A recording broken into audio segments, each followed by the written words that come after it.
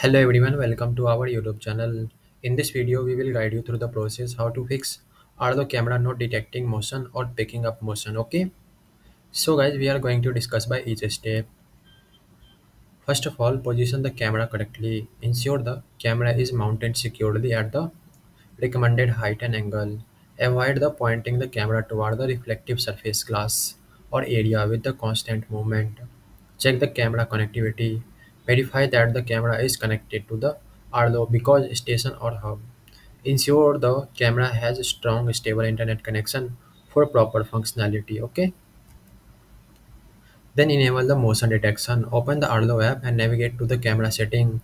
Confirm that the motion detection feature is enabled for the camera in question. Then adjust the sensitivity setting. In the camera setting, locate the motion sensitivity position option. Adjust the sensitivity level to the higher setting to improve the motion detection accuracy. Okay. Then enable notification. Check the notification setting in the arlo app. Ensure that the motion alert are enabled to receive notification for detected motion event. Then power cycle the camera. Turn off the camera using the arlo app or by disconnecting its power source. Wait for about 30 seconds before powering the camera back on the reset function. So this is the only step. Thanks guys.